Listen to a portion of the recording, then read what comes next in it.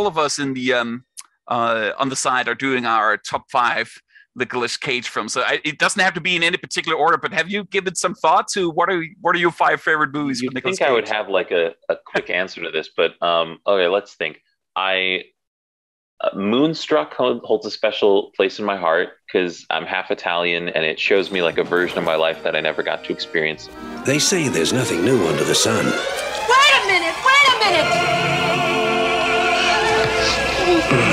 Gone in 60 Seconds because that was one of the first DVDs my family ever bought. So, uh, like, I haven't watched it in many years, but as a kid, I think my family and I watched it multiple times. By the time the first car's reported stolen, your ship set sail. Um, Raising Arizona is incredible. Kind of late for visitors, isn't it, huh? Oh, well, yeah, honey. But these boys just got out of the joint, so we gotta show a little hospitality adaptation is incredible. The book has no story. There's no story. Make one up. Okay, we open with LaRoche. No, we open at the beginning of time. Okay, we open with LaRoche. Crazy white man. We open on Charlie Kaufman. Fat, bald, ugly, paces. Ah, what should I do for the last one? Uh, it's got to be Face Off, right?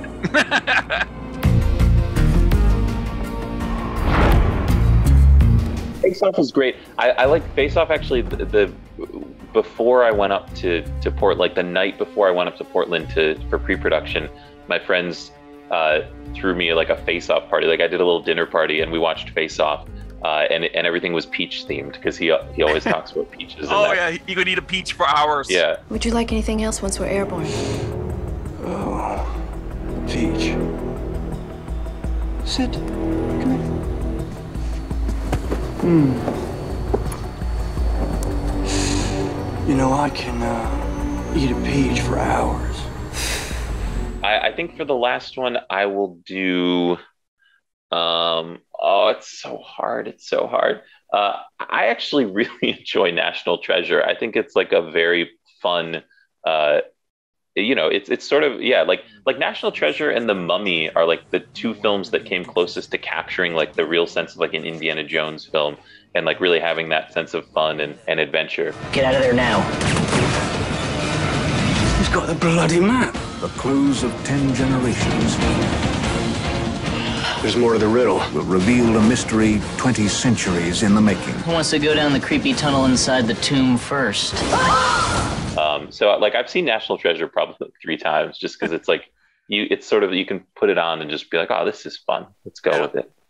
Uh, that's a good top five, actually. And I'm so glad you, you mentioned Raising Arizona because all the Coen brothers do is absolutely amazing. So because it's oh, yeah. their earlier work, it does tend to be forgotten a bit, but it's such a great, such a great oh, it's film. wonderful. Yeah, the Coens, they they can do no wrong. Yeah.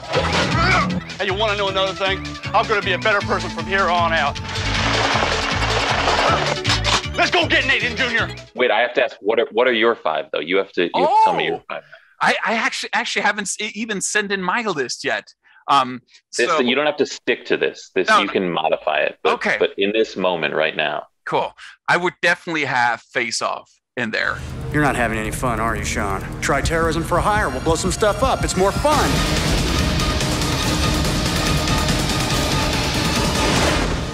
I mean, John Woo is, is still my favorite action director. If you oh, it's, a, it's a blast. It I mean, is a, a blast. blast. It, it is yeah. a blast, and it's just I mean, and of course, I guess that's one of the films that also set the tone for how we very much perceive Nicolas Cage as well. But that's one of the movies where he just knocks it out of the park, and just both him and John Travolta just, uh, you know, stepping up to the plate and really outperforming each other. Yeah. Uh, it's it's like an amazing boxing match. So that would that would definitely be there. I would actually and this this is not just because I'm talking to you, it's a, but but I would definitely have I would definitely have uh, pig in there as well. I think pig, uh, pig, pig, pig. Yeah, exactly. Pig, and that's no. that's it. Five times pig. Never mind face off, but pig would be in there as well. well. I appreciate that. What are you thinking?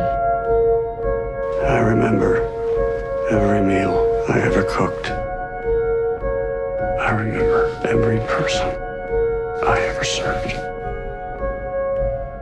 You live your life for them, and they don't even see you. You don't even see yourself.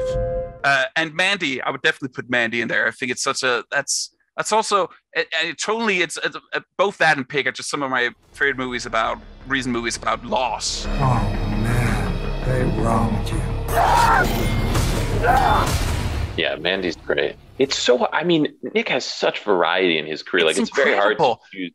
You could choose Yeah. any five, and you're going to get such a crazy variety and so many great films. His acting sort of range is too often dismissed because it's huge. Yeah. There's such a variety to it. Did I ever tell you that this here jacket represents a symbol of my individuality and my belief in personal freedom? About 50,000 times. But I would definitely have adaptation there as well. I mean, I, I Yeah. think that's that's probably my favorite performance of his. Um, Two performances. Yeah, exactly. Dual uh, dual performances. I'm putting in a chase sequence. So the killer flees on horseback, cops after them on a motorcycle. And it's like a battle between motors and horses, like technology versus horse. Uh, over my my fifth B. The last one's hard. It's like all of them start rushing in, and you're like, oh, there's so many. Do I want to go for one of the lighter ones? One of the. exactly. I tapped exactly. out. I did National Treasure. That's the like. Yeah. but I have a big soft spot for the first National Treasure film as well. Yeah. So I, I had I had a soft spot for Lord of War. We're the Bureau of Alcohol, Tobacco, and Firearms. And I guess this isn't about the alcohol or the tobacco. I liked the Weatherman quite a bit. I feel like that's sort of not the way. You're on TV, bro. You're on TV. You're on TV, bro. So what? You keep saying that. So you're on TV, bro. Go work in a bank or something if you don't want to be cool to people. Whatever. Just, can you get out of my face? Oh, Matchstick Men. Yeah. Um, I mean, there's so many great. Obviously, I have a lot of tics. These distractions affected you workably? What would you do if you had to change careers? What, if I wasn't an antiques broker? If you weren't a criminal? This is Dr. Klein. I just got off the phone with Angela, your daughter. She says she really wants to meet you. Remember me? All of a sudden, I have a daughter. um okay, I'm gonna just go on a limb and say The Rock. Listen, I'm just a biochemist. I drive a Volvo, beige one. So what do you say you cut me some friggin' slack? Fire. So that's my that's my top five. That's a great five. That is a great five. You did But- it. You don't have to stick with them. You're allowed to to change, but at this moment in your life, those are the five. Exactly. It's uh, open for change. Just I'm don't sure change pig. Just just keep pig in there. No, That's- exactly. Pig no, will- no, you can you can change pig. Pick, Pick will definitely stay there. Who has my pig?